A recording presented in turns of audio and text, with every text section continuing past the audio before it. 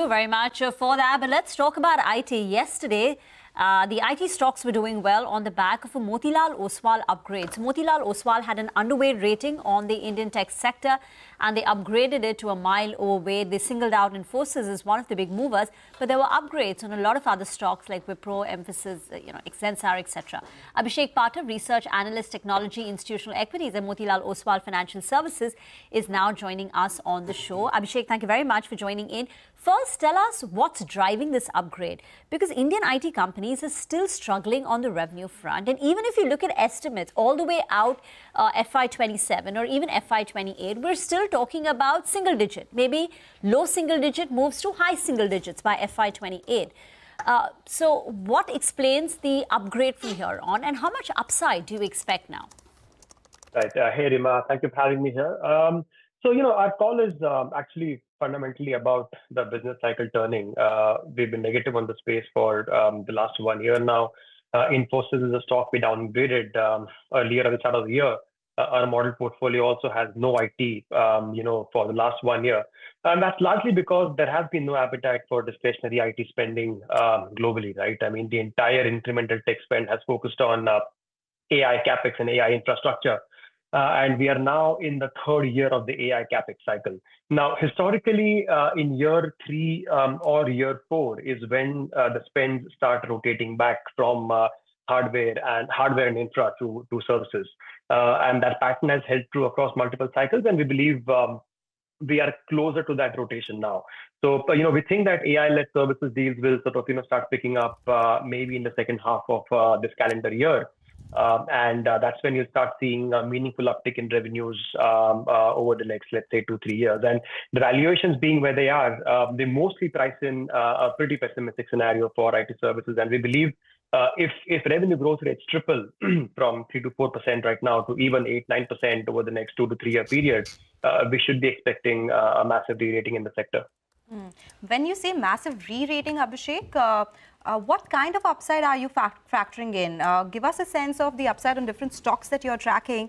And you already believe that we are at the bottom. So do you think we'll only see a one-way up move from here on? Yeah, so I think you know uh, most valuations for large caps are uh, kind of uh, either at their 10-year averages or or at a significant discount to their five-year averages, right? So I, would like to believe that uh, whatever headwinds, uh, whatever major headwinds the sector had to face, we're already kind of you know pricing that in. Um, and um, uh, you know, if growth rates triple, uh, uh, you know, if if we are uh, at the beginning of an actual technology implementation cycle, I expect a 20, 30 percent re-rating in in multiples, and um, you know, earnings upgrade cycles to come in. So most of our estimates, or most of our target prices right now, feature upsides between uh, anywhere between 40 to 60 percent, uh, depending on the stocks we're talking about. So, mm. um, you know, Infosys, uh, we are pricing in a 40 percent upside. Uh, some of the smaller names, Coforge, we are very positive. We believe the stock could do almost 70 percent upside over a significant period. Hexaware as well. So again, I mean, we believe that. Um, uh, the payoffs are asymmetric. Uh, most of the negative news, negative news flows are priced in, and if the cycle turns, there is there is there's a good um, sort of upside to be had from here, these levels.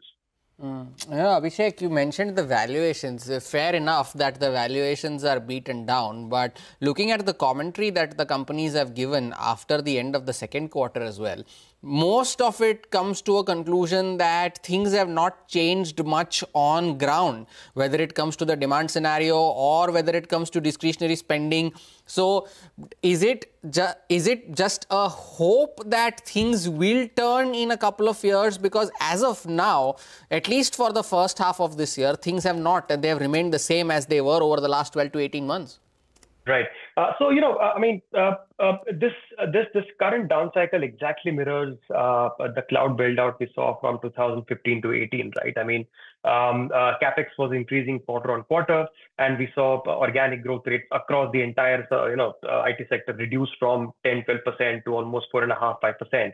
Once the capex settled down, not reduced, just sort of rebased to a to a to a different high level you know, we saw that services spend come in and we saw growth rates accelerate across the board uh, between 2017 to 2020. Uh, so, so you know, uh, this is like I said. I mean, this is this is more a call on um, sort of you know the business cycle turning and um, sort of you know. Uh, I mean, the hardware spends kind of you know morphing a little bit into services And um, so it, it's played out before multiple times. Uh, and we're again there, uh, and uh, I believe that you know we are, we have to brace ourselves for a turnaround. So you're expecting eight nine percent kind of revenue growth by FY28. That's right. for the large caps, I'm at around eight and a half to nine and a half percent. Uh, for mid caps, of course, I mean, uh, depending on the company we are tracking, we could go as high as 25%, uh, but the range that I'm building in is between 15 to 25%. Okay. And in mid caps, Coforge, you spoke about a 70% upside. Uh, right. Which other stocks do you like in the mid cap space where growth rates are going to be closer to 25%? Um, so, uh, you know, we like Persistent as well. Uh, you know, it's a fantastic team. They execute really well. Um, uh, but the valuations are a tad bit expensive over there, but we still like the name a lot. Uh, Hexaware is a name that we again uh, really prefer. it's it's probably one of our top ideas for for the next couple of years. Uh, and uh, and yeah, we also upgraded Mphasis to buy. Uh, we believe that the stock has gone through its own um, client-specific issues over the past six eight months, but the deal wins are quite strong. And the next two three quarters, we should see a we should see a pretty smooth uptick in, growth rates. So yeah, these three names I'd probably call out um, from a, mid-tier perspective. Um, Abhishek, uh, you know, for starters, when you speak to Indian companies, what kind of productivity improvements are you seeing? So NTT spoke about 50% this year, going up to 70% in the software development cycle in two years. Uh, so that's question number one. Where are we, you know, in, in the Indian companies? And number two, um, have you been able to quantify in your analysis now models for the next two years? What could be the contribution that comes, say, from generative AI or agentic AI? Like NTT's put a number to it at $2 billion. Right. Uh, yeah, no, I think uh, on the first question, uh, you know, in fact, we've uh, kind of written extensively on this uh, across the entire software development lifecycle, right? Be it low-level coding, testing, incident sort of generation, debugging, documentation, uh, we should be seeing close to 40 to 50 percent productivity gains, um, you know, at a at a steady state, right? I mean, uh, these numbers are these numbers are obviously uh, not, you know, kind of being implemented right now, but yeah, eventually we do see that kind of gain. Um, see, I mean, productivity gains are are coming for the industry, and there is no two ways about it, right? I think the um, the the call is that there has always been a technology that's disrupted the previous model for IT services and uh, you know uh, these companies have been able to pivot successfully time and again. Uh, likewise you know we will see new models coming in. We will see for example we will see service as a software being picked up far more often right? We will see platformization or these services being offered as platforms far more often and we'll see revenue per employee across the industry go up quite significantly to kind of counter these arguments. But at the end of the day um, getting to Gen AI will need a significant amount of system integration work, a lot of sort of data engineering, a lot of uh, service lines, new service lines will open up, uh, which will uh, which will kind of Abhishek, offset. yes, on that itself, on AI, you know, we've been talking about around uh, five trillion dollars uh, spends by 2030. Uh, if you can quickly tell us how would that impact Indian IT? Yeah, I think uh, uh, so. Capex, uh, capex is is only the the base uh, spend assumption for for IT, right? I mean, what happens when I when I want a higher higher ROI on that capex is when services uh, uh, comes in. So I mean that the same thing happened in cloud, right?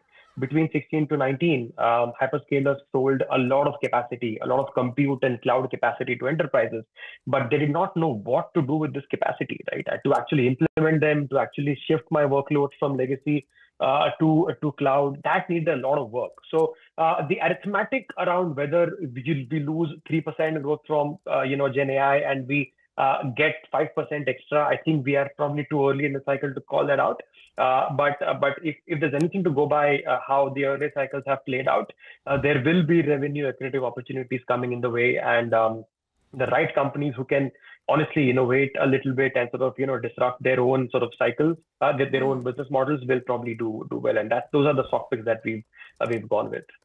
Abhishek, thank you for sparing time and joining us with these interesting insights on the Indian IT sector. the markets uh, continue to remain very choppy. The Nifty Bank is now back into the green as we speak. We'll take a short break, focus on the crypto markets on the other side with Manisha Gupta.